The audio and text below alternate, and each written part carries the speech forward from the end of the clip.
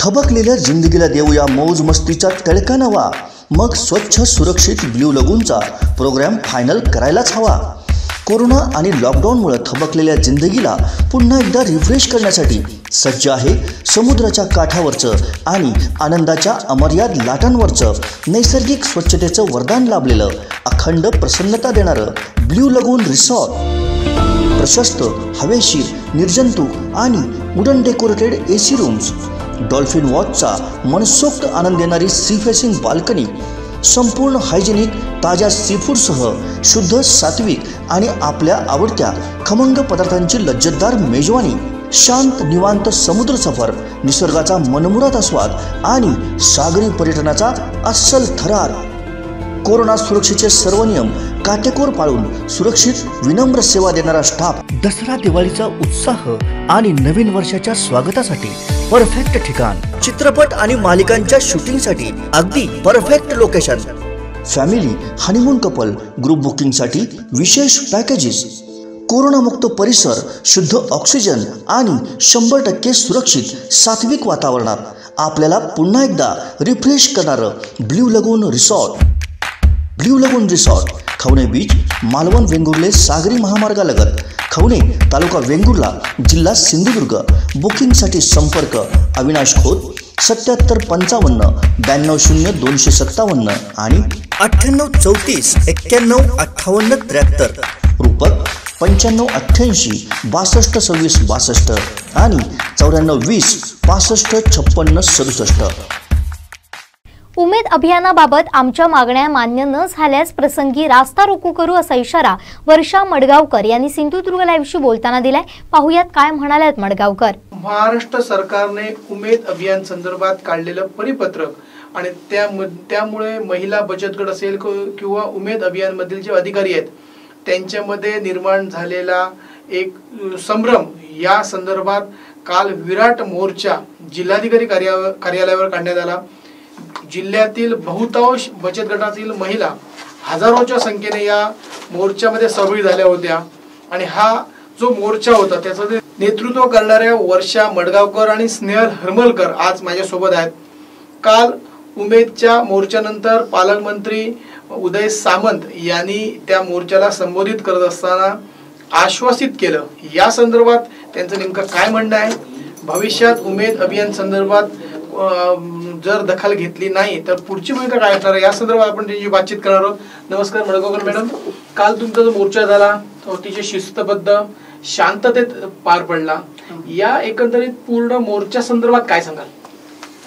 जो काल आम्ही मोर्चा काढलेला तो पूर्ण आम्ही आमच्या उमेद अभियानांतर्गत काढलेला होता. आणि उमेद अभियानांतर्गत जे महिला आम्ही आहोत बचत गट आहेत ग्रामसंघ आहे प्रभाग संघ आहेत आणि या मार्फत सगळ्या आम्ही महिला एकत्र येऊन जास्त करून आम्ही तिघी जणी एवढं हे केलं दोन तीन दिवस की नियोजन कसं करायचं काय करायचं महिलांना कसं गोळा करायचं याच्यापासनं सगळं आम्ही केलं. आणि कुठलाही याच्यात कर्मचारी मात्र इन्व्हॉल्व नव्हता किंवा कुठलीही मदत त्यांची नव्हती. जेव्हा उमेद अभियान बंद होणार असं समजलं तेव्हा महिलांच्या मनात कुठेतरी संभ्रम निर्माण झाला. जर अभियान बंद झालं जे मिळणारा आर एफ आहे सी आय एफ आहे तो आपल्याला परत सरकारला वर्ग करावा लागणार होता. आणि अचानक जर महिलांकडनं जर आपले पैसे काढू काढून घेतले गेले लाखांनी रुपये आहेत. प्रत्येक ग्रामसंघाकडे नाही म्हटलं तरी तीन साडेतीन लाख रुपये तरी आहेत. म्हणजे प्रत्येक गटाला साठ हजार रुपये. अशा तऱ्हेने तो निधी दिलेला आहे. आणि जर असं प्रत्येक महिलांकडनं जर अचानक काढ- काढून घेतलं गेलं तर काय होईल? हे कुठेतरी महिलांमध्ये संभ्रम निर्माण झाला. त्याच्यामुळे कुठेतरी एक काय करायचं पुढे? तर एक आंदोलन करूया. मग आंदोलन कशा प्रकारे करायचं? तर मुक मोर्चा काढूया. कारण पहिलं काय होतं की आम्ही पत्राद्वारे मुख्यमंत्री साहेबांपर्यंत पोहोचण्याचा प्रयत्न केला. पत्र पाठवली. हजारोच्या संख्येने पत्र गेली. पूर्ण महाराष्ट्रातनं गेली. तशीच आमच्या सिंधुदुर्गातनं म्हणजे पण गेली. पण त्याची दखल काहीही घेतली गेली नव्हती. मग अचानक सगळ्यांनी ठरवलं की बारा तारीखला मोर्चा काढायचा आणि तो सुद्धा मुक मोर्चा असेल. आणि त्या ह्याच्या अनुषंगाने आम्ही तयारी करायला सुरुवात केली. अक्षरशः तीन दिवसात तयारी सुरुवात केली. कुठे गाड्या लावायच्या काय करायचं हे अक्षरशः पोलीस यंत्रणेने सुद्धा आम्हाला खूप छान मदत केली. पहिल्यांदा सांगितलेलं की कोरोनाच्या पार्श्वभूमीवर तुम्ही मोर्चा काढू नका. हे पण आम्हाला सांगितलं गेलेलं. तरी पण कुठेतरी त्यांना आम्ही आश्वासित केलेलं की आम्ही सगळं म्हणजे मास्क लावू सॅनिटायझर वापरू. सगळं आम्ही हे पालन करून ना आम्ही मुकमोर्चा काढणार आहोत. तुम्हाला कुठलाही आमच्या महिलांचा त्रास होणार नाही. वाहनं अडवली जाणार नाही याची खबरदारी आम्ही घेऊ. आणि काल आम्ही जो मोर्चा काढला याच्यात प्रशासना म्हणजे पोलीस यंत्रणेने तर एवढी आम्हाला साथ दिली ना की कुठल्याही महिलेला त्यांचा त्रास झाला नाही किंवा आमच्या महिलांचा सुद्धा त्यांना त्रास झाला नाही.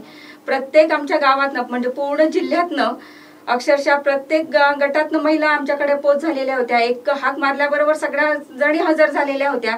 म्हणजे प्रत्येकाच्या मनात कुठेतरी भीती होती. तरी सुद्धा त्या हजर झाल्या. सध्या भात कापणीचा सीझन असताना सुद्धा आमच्या हाकेला ओ दिली त्यांनी. कारण कुठेतरी अभियान बंद होतंय. म्हणजे आपलं जे उमेद आहे ती संपुष्टात येणार हे त्यांना माहिती होतं. त्याच्यामुळे आमच्या हाकेला ओ देत त्या सगळ्या जणी आल्या. त्यांचे खरोखरच आभार. कारण आम्ही तिघी जणी पुढे उभ्या होतो मागणं काय होणार हे माहिती नसताना सुद्धा त्या आमच्या हाक्या म्हणजे आम्ही पुढे काय करणार? हे सुद्धा त्यांच्या मनात कुठेतरी संभ्रम असेल. पण काल एवढं त्यांनी साथ दिली आम्हाला. आणि हजारोच्या आठ हजार एकशे पन्नास महिला आमच्या हकेला ओ देत काल हजर होत्या.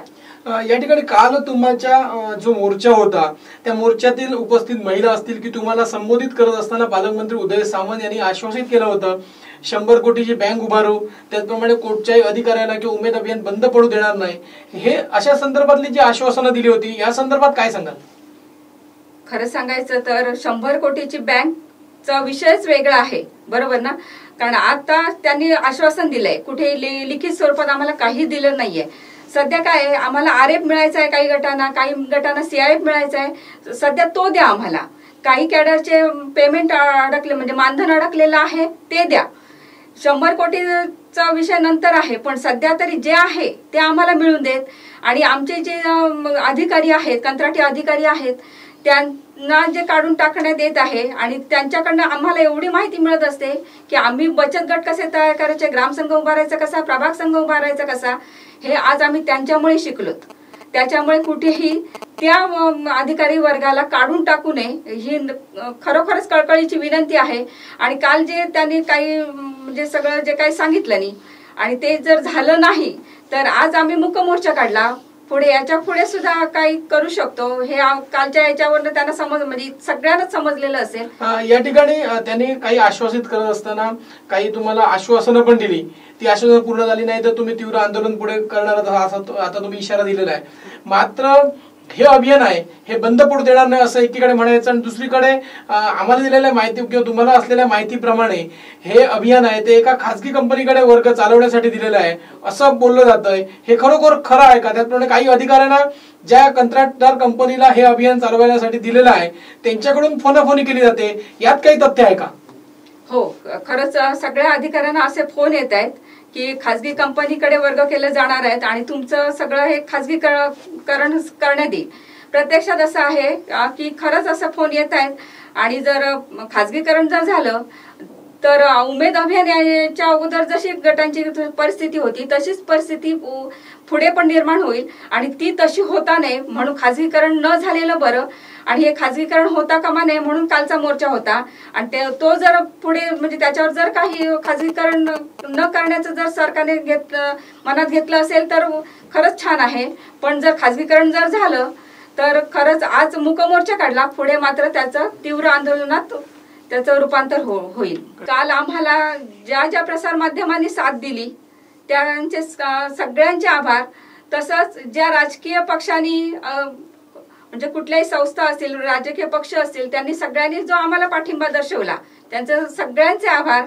आणि ज्या महिला आमच्यासोबत होत्या एवढ्या आठ हजार एकशे पन्नास महिला आमच्यासोबत ज्या होत्या आमच्या हाकेला ओ देऊन आलेल्या त्या सगळ्यांचे आणि माझ्यासोबत ज्या आमच्या ताई काम करत होत्या म्हणजे मी सांगेन तसं ऐकत होत्या मला पण त्यांनी काही सूचना केलेल्या होत्या त्या सगळ्यावर आम्ही एवढं हे करून कालचा जो मोर्चा आम्ही यशस्वी केला त्या सगळ्यांचं म्हणजे प्रशासकीय यंत्रणेचे सुद्धा सगळ्यांचे आभार.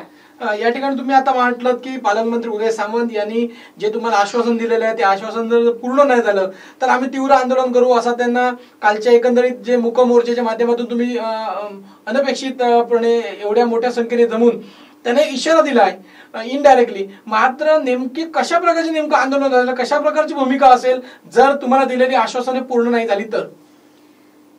राजकीय पक्ष असतात आणि त्यांची आंदोलन आणि आमच्या आंदोलनात जमीन अस्मानाचा फरक आहे. कालच्या याच्यावरनं तुम्हाला सगळ्यांनाच समजलं असेल. आज काल आम्ही मुख्य मोर्चा काढलेला. पण जर हे आमचं जर काही सत्यात जर उतरलं नाही तर पुढे मात्र त्याचं तीव्र आंदोलन होईल. कालचा मुखमोर्चा होता.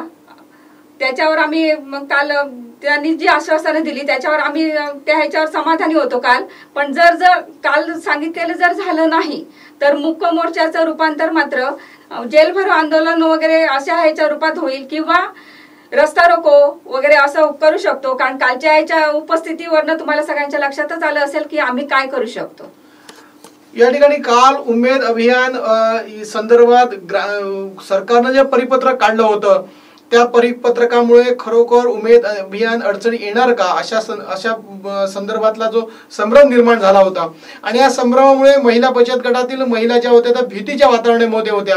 आणि उमेद अभियान वाचवण्यासाठी महिला बच बचत गट वाचवण्यासाठी महिला काल मूक मोर्चाने एकत्रित आठ हजारहून अधिक संख्येने एकत्र देत या ठिकाणी मूक मोर्चा काढला. मात्र त्यावेळी पालकमंत्री उदय सामंत यांनी त्यांना आश्वासित केलं. ते आश्वासन जर पाळलं नाही सरकारनं तर सरकारला जेल भरो किंवा रास्ता रोको करून या ठिकाणी पुन्हा एकदा महिलावर महिला रस्त्यावर उतरताना आपल्याला दिसतील असा थेट इशारा या ठिकाणचे ते नेतृत्व करणारे वर्षा मडगावकर आहेत. आणि त्यांचे सर्व सहकारी ज्या सहकारी आहेत त्यांनी या ठिकाणी आमच्याशी बातचीत करताना बोलून दाखवलं त्यामुळे उमेद अभियान हे नक्कीच वाचलं पाहिजे आणि सरकारच्या वतीनं पालकमंत्री यांनी दिलेलं आश्वासन हे पूर्ण केलं पाहिजे. हेच या ठिकाणी बोललं जात आहे किंवा त्यांची त्या पद्धतीनं मागणी आहे. कॅमेरामन विनायक परबसा हेमंत मराठे सिंधुदुर्ग लाईव्ह सावंतवाडी. ताज्या अपडेटसाठी सिंधुदुर्ग लाईव्हला सबस्क्राईब करा आणि बेल आयकॉन प्रेस करा